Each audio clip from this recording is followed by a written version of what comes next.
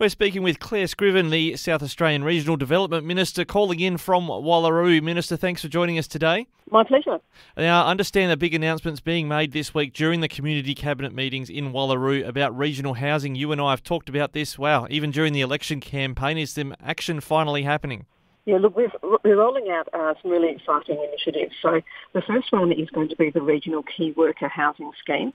So what we're trying to do there is uh, create a continuous pipeline of homes, which initially will help delivery of housing to attract and retain essential workers. So that's our police, our teachers, healthcare workers, that kind of role in, in our key country areas. So, um, you know, for example, in my own area of Mount Gambier, uh, I heard of teachers who came to the area. We know we need teachers, but for two terms they lived in a caravan because they couldn't get housing. Here on the Yorke Peninsula where we are at the moment, we've heard similar stories. And we know how important it is to attract health workers, nurses, uh, uh, ambulance officers, teachers, police, the list goes on. But without housing, then we can't do that. So this is a really important first part. This is going to be um, a trial, initially 30 houses across uh, five different areas, uh, and that will be, uh, I guess, the first tranche. And then there's opportunities to expand that uh, and roll it out uh, to deliver more homes and also potentially to be uh, to deliver these in conjunction with private investors under long-term lease arrangements as well. So it's uh, you know, an exciting announcement uh, and it's a really excellent step towards helping to solve some of the housing crisis that we know we face in regional areas. So Clare Scriven, MLC, I understand that there's going to be a new office for regional housing within Renewal SA. Is that going to be a long part of that long-term plan of working with councils about not only, I guess, the funding but also the infrastructure needs, say through SA Water, and also the planning reform needed so that councils can really easily enable more housing to get put on? It's really important that we do have someone who can, I guess, be that central point and coordinator and that uh, place to get information for the different things that are involved in regional housing. So uh, we know that we need different solutions in regions. We need them to be tailored for different regions because the issues that are, are facing people in metropolitan Adelaide, for example, are not the same as those that are facing people in Ceduna, in Port Augusta, in Mount Gambier, in Riverland, in the Copper Coast, etc. So the Office for Regional Housing will be really important in terms of uh, coordinating uh, not only the scheme that we've just talked about, the Regional Key Worker Housing Scheme, but also other housing projects where we might be able to work with uh, not-for-profits or with uh, private employers and so on to be able to actually assist um, local government agencies, assist local councils, assist regional development authorities to be able to help get more housing into the regional areas. Now, we note that housing has been one of the key challenges, as you say, to attract, say, health workers, but the labour force needs across regional Australia are quite dire. Um, are you expecting this will actually help alleviate labour shortages?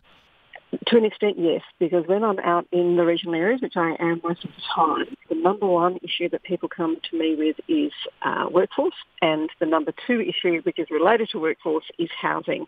Uh, and of course, housing is both an economic problem in that sense, but also a really important community um, issue to be to be solved. So it will help uh, both of those things. And if we can assist private employers potentially in the future uh, to be involved in this program to assist them in being able to house their workers, then when they attract workers, they'll actually have somewhere for them to live as well. So, is it appropriate at this stage for people to reach out to this new agency or to the government to express interest? Is there a website or something they can go to and say, "Look, we'd like to be part of trying to get something on, say, you know, in Bordertown or somewhere like that"? Uh, look, the office is being established from today. Uh, so shortly there will be those opportunities and we would encourage, uh, you know, whether it's businesses or whoever to reach out as early as possible. Uh, the Premier and the uh, Treasurer have uh, briefed today uh, local government and of course we were talking with the Copper Coast councils in person at Country Cabinet yesterday and today. So uh, they're already aware of it, um, but we would encourage, uh, where there is interest, to definitely to reach out. Because I think um, just coming back again to the idea that we need, it's not one size fits all, we need to have tailored solutions for different regional areas. Uh, and that's where these announcements and the Office of Regional Housing will have um, a, a, key play, a key part to play. And Clare, just before you go, uh, you've been part of the community cabinet. This is the is this the first one under the Malinauskas government, or did you have one down in the southeast late last year as well? Uh, we had one in the southeast last year as well as in the Upper Spencer Gulf. Uh, and we also had a, a, mini one in the Riverland prior to when the floods were approaching. So, uh, yeah, so this is the first one though this year, since, uh, since Christmas. And it's been really good. We had, uh, I think it was around about 250 people at the public forum last night. That's where they're able to ask uh, you know, any minister any question that's, that's of, of concern to them. And it was really good to see such a strong turnout from the local community and also the breadth of questions. Uh, housing, of course, was one that came up a number of times, uh, as well as you know about a number of different issues. Um, some of those issues are you know, common across regional areas, and some were specific to the Copper Coast. Uh, but it was a, a, very, very good turnout, and these two days have been very, very useful. The ministers um, and the premier, uh, we've all been out meeting with you know, local uh, organisations. Uh, I had a number of different site visits in my primary industries portfolio, uh, as well as the public forum and then the actual cabinet meeting today, where we hear from all of the local councils about some of their priorities for the region. Yeah, I understand these didn't happen for four years under the Marshall Liberal government. It's just restarting what Labor used to do when they were previously in office. Uh, yeah, I think it was a real missed opportunity by the former Liberal government. Um, yeah, the, the, kind of response that we've had, people are just saying, look, we just love the opportunity to be able to put our case firsthand to ministers and to the whole cabinet. And of course, we also have the chief executives of the government departments there as well, so they can hear firsthand and they can follow up immediately.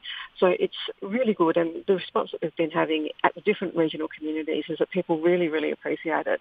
Uh, and frankly, it was just very disappointing under the former Liberal government that they didn't want to get out into the regions and hear firsthand from people. I mean, what better way can you find out what's you know, what what people's concerns are, what the priorities are, what the opportunities are, unless you're listening firsthand.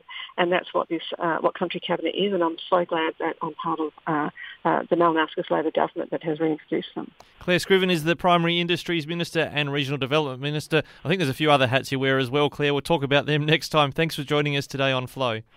Thanks so much, Ricky.